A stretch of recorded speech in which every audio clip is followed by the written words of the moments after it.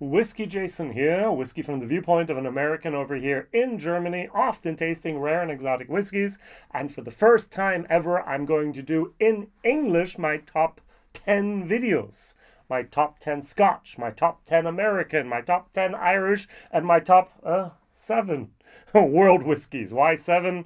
I only had seven this year that I can actually recommend and say, wow. All right. So what's the requirement? Requirement number one, I had to taste them in 2022, which means I did a review online about them. This was not something that I had at a tasting someplace else. This is not something I had on a live stream. This is something I did an actual review about. So we have 37 different whiskeys that I'm going to present to you. And here is my list. We're going to start off with number seven. This is from Mackmyra the Bruks whiskey. It was a 13 year old 2008 vintage Swedish single malt. 41.1% Whiskybase number 196450. Very, very interesting whiskey. Um, thoroughly surprised me. I am not the biggest fan of a lot of the experimental things Mackmyra has done in the past, but for some reason, bam, this whiskey was awesome. Number seven. So moving on to number six from France, Armorik, a 15 year old single malt Breton whiskey with 46%. Whiskybase number 217564. Now, a good friend of mine over here in Germany, Valentin, he actually asked Jason, could you put the 10 year old Armorik into a tasting, a blind tasting somewhere, somehow this year? I was like, yep, did it. Didn't really do fare that well. But then I found out, look, um, my importer here for Germany has the 15 year old. Let's go buy that and try it. I was so pleasantly surprised that France has a 15 year old whiskey. Sweden 13 year old, France 15 year old. That was even a little bit better. So I really, really like that. All right, moving over to uh, number five. I'm a little bit self conscious about this one. It is from Germany. It is a St. Kilian um, single malt Scotch whiskey that was matured the entire time in an ex rum cask, but I own that ex rum cask. So, so this is actually a cask share that I did with people in Germany.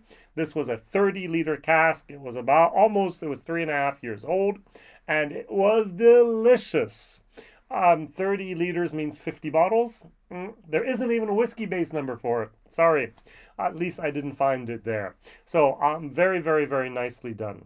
So what did I do here for my videos? What I did is I actually ranked them myself. I asked my super fans, I have about 150 people that support me here in Germany um, with um, Patreon or also at YouTube memberships, and they are in special WhatsApp groups, and they were able to vote on these. And so the St. Kilian was on me for me, position five, for my fans, position six. So then let's move up to position number four. It's going to be from Elsburn here in Germany, Ruby and Tawny Port Cask Batch 1, a German single malt whiskey, um, Whiskybase number 193844. I was very, very pleasantly surprised how good that whiskey actually was. I liked the combination of Ruby and Tawny Port together, full maturation, German exclusive only, so sorry. Yeah, let's move up to our third position. My fans and I, we both agreed on this one. Kavalan Solist Brandy Cask from Taiwan, a single malt, um, 57.8%. I'm not sure if it was a German exclusive or European exclusive. Whiskybase number 198631. Very delicious, 200 plus euros, a little bit too expensive for my taste, but it was all about the taste on this list. Kavalan Solist Brandy Cask. Mmm. Kavalan Solists are great, anyways. All right. The next German whiskey that I have here is from Elsburn again, but this time it's the Cozy Winter, seventh edition, special release for 2021.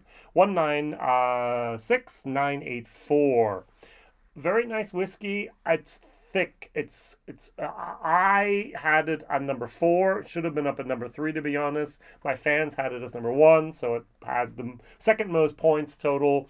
Um, very very nice whiskey. Every year they put out a new whiskey at Elsburn called Cozy Winter for a Kirsch import exclusive. And there are batch variations. Every year tastes a little bit different. And that year there was just a port, a Malaga, and Marsala, I think. And then 2022, actually a cherry added as well. Hmm. And last but not least, and I hope you like this one, this is um, something that even in Germany people did not get. It's called Nine Springs Great distillery, by the way. Year of the Tiger German single malt whiskey with 52%. Whiskybase 217686. I was at the Nine Springs Distillery with about 35 other super fans. Um, we had two other YouTubers there Holly, called Whiskey Buzz, she has an English channel, and Sascha, he's called Friendly Mr. Z. He does not have an English channel.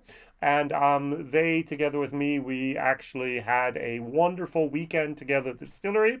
And during that, we had a tasting of the Nine Spring products.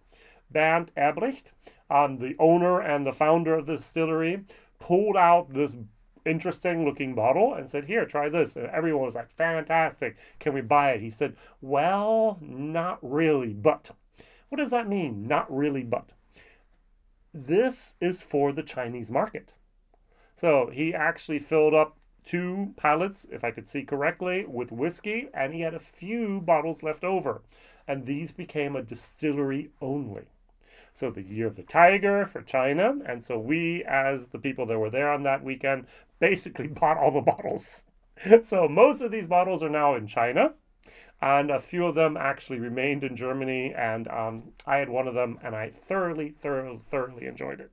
All right, going from top to bottom, once again, the list. So you can see the names. Um, number seven, um, seventh place was a Mackmyra Bruks whiskey, 13 years of age, um, from 2008 when it was distilled. Uh, number six is the Armorik from France, the 15 year old single malt. Number five is my own little thing that I did with St. Kilian together, an ex rum 30 liter cask. Number four is from Elsburn here in Germany, Ruby and Tawny Port Cask Batch 1. Number three is from Taiwan, Kavalan Solist Brandy Cask, 57.8.